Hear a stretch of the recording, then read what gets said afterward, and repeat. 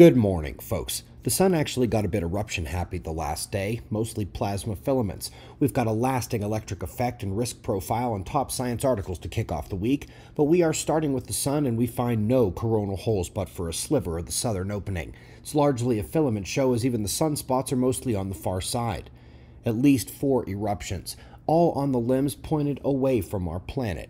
We've got more of those in Earth facing position waiting to erupt, but for now, let's go to the solar wind and geomagnetic conditions. Solar wind has been elevated to a sustained level of density and plasma speed, providing an increase in plasma pressure and, as we so often see after coronal hole driven geomagnetic storms, as one fades, the electron flux rises. We have officially entered electron storm status, mostly a concern for ultra sensitive electronics and GPS unless it goes a bit higher. Easing into the science next, couple articles on cooling trends in the sea. Been noticing more and more of these with nothing but speculation of warming from the modeling crew. As is often the case, the observable reality doesn't match the models and they rush to try to catch up. By the way, the answer to both papers, it's the melted, cool fresh water from the poles. For those new here and need the most elementary introduction to solar influence on human health, I'm not sure why it took three professors for this couple page layman's document, and indeed it is the first grade version.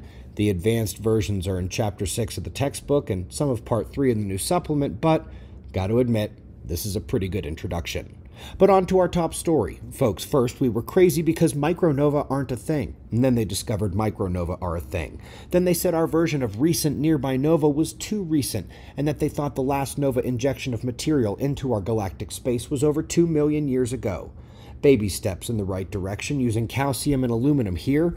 True, if they used the shorter lived uranium found in the younger Dryas bone and petrification samples, they'd know it was a 12,000 year cycle, but in one fell swoop, that over 2 million years ago just got cut down to a million to 600,000 years ago. And trust me, they're going to cut it all the way down before it's over.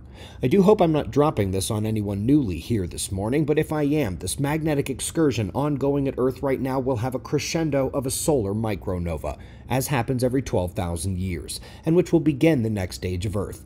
We greatly appreciate your support. If your eyes work right now, you know how to learn more. We've got shots of our star to close. Subscribe, and we'll do this all again tomorrow right here, but right now at 6 a.m. in the new Valley of the Sun.